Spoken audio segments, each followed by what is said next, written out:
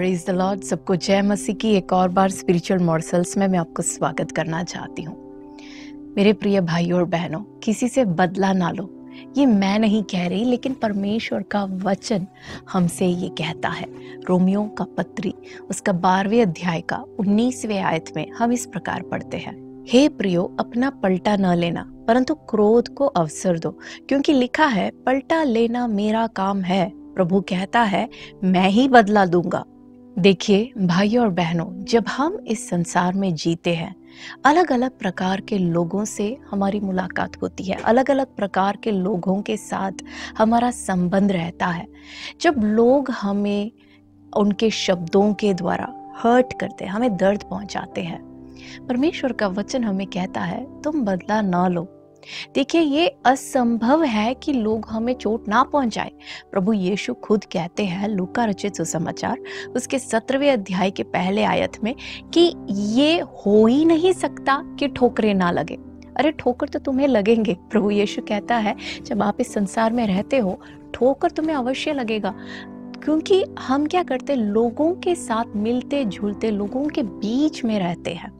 अलग अलग प्रकार के लोग हमारे साथ हैं, हमारे घरों में, हमारे दफ्तरों में, हमारे आस पड़ोस में, और लोग अलग अलग रीति से हमें चोट पहुंचाएँगे उनके शब्दों के द्वारा, कई बार उनके व्यवहार के व्यवहार के द्वारा, कई बार हमारे पीठ पीछे चुगली कर कर कई बार हमें पता चल जाता है, अरे हाँ ये लोग सामने से मुस्कुराते तो है, लेकिन पीठ पीछे ये सब बोलते हैं। हमें क्या करना है? बदला लेना है? नहीं। प्रभु यीशु हमें कहता है, परमेश्वर का वचन हमें सिखाता है कि पलटा लेना तुम्हारा काम नहीं है, वो मेरा काम है, वो मेरे ऊपर छोड़ दो, यहोवा परमेश्वर कहता है। तुम्हें क्या करना है? क्षमा करना है, आगे बढ़ते रहना है। देखिए, ये सिद्धांत जो है, पुराने नियम में हम एक व्यक्ति के जीवन में बड़े साफ़ तरीके से देख सकते हैं, और वो है दाऊद। दाऊद को शाउल राजा अलग अलग समय पर मार डालने की कोशिश करता है। कई बार वो अपने हथियार से दाऊद को मार डालने की कोशिश करता है। वो अपने भाला उठाकर दाऊद के ऊपर फेंकता है। दाऊद वहाँ से बच जाता उस समय। लेकिन दाऊद ने क्या किया? क्या उसने बदला लिया? क्या उसने वो भाला वापस खींच के शाउल के ऊपर फेंका? क्यों नहीं फेंका? क्या वो डरपोक था? देखिए, हम सब जानते हैं कि दाऊद बिल्कुल डरपोक नहीं था, क्योंकि उसने अकेले एक शेर को और एक भालू को मार डाला था। तो वो डरता नहीं था। फिर उसने क्यों नहीं फेंका? क्या उसका निशाना सही नहीं था? अरे, उसका निशाना बिल्कुल परफेक्ट था, क्योंकि हम जानते हैं कि उसने एक पत्थर से पहली बारी में गोलियात को मार डाला था। तो उसका निशाना भी बिल्कुल परफेक्ट था। लेकिन दाऊद ने वापस उस भाले को फेंका नहीं, उसने बदला नहीं लिया, वो वहाँ से हट गया। और हम देखते हैं कि शाउल दाऊद को मार डालने के लिए फिलिस्तियों के साथ युद्ध में दाऊद को भेजता है। और ये चाहते हुए कि उस युद्ध में दाऊद मर जाए। लेकिन वहाँ भी परमेश्वर दाऊद को बचाता है। हम देखते हैं कई बार शाउल खुद दाऊद को मार डालने के लिए उसके पीछे हो लेता है। और हम वचन में देखते हैं कि कई बार जैसे हम सोचते हैं, दो बार परमेश्वर शाउल को दाऊद के हाथों में दे देता है। जैसे हम कहते हैं ना कि अरे, ये तो परमेश्वर द्वारा दी गई मौका है।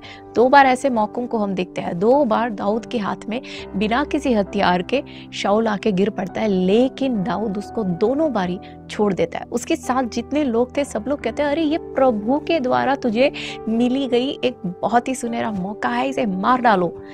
लेकिन दाऊद का एक सिद्धांत था वो कहते हैं, बदला लेना मेरा काम नहीं है। वो परमेश्वर का काम है। चाहे ये मौका खुदा के हाथ से मुझे मिला हो, मैं इसके ऊपर हाथ नहीं रखूँगा, क्योंकि बदला या पलटा लेना मेरे हाथ का काम नहीं है।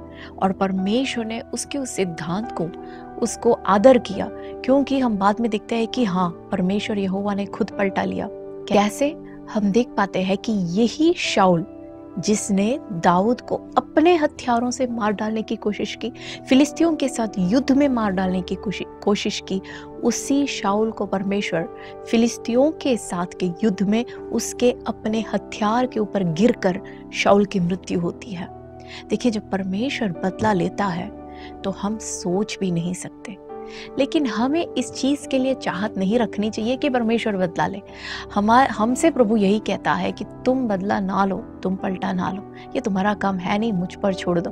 तुम्हें क्या करना है? क्षमा करना है, आगे बढ़ना है। क्षमा करना है, आगे बढ़ना है। देखिए भाई और बहनों, इस संसार में जैसे हम लोगों के बीच में जीते हैं, लोग हमें ठोकर पहुंचाएँगे। लोग हमें दर्द पहुंचाएँगे। हमारी चुगली करेंगे, हमारे पीठ पीछे बोलेंगे, उनके व्यवहार से हमें दर्द होएगा, लेकिन हमें बदला नहीं लेना है, हमें कुछ भी नहीं करना है, हमें क्षमा करना है, उनको आशीषित कर कर प्रार्थना करना है, और हमें हमारे जीवन में आगे बढ़ते ही रहना है। इस प्रकार क्षमा कर कर आगे बढ़ने में प्रभु आप सबको मदद करें। God bless you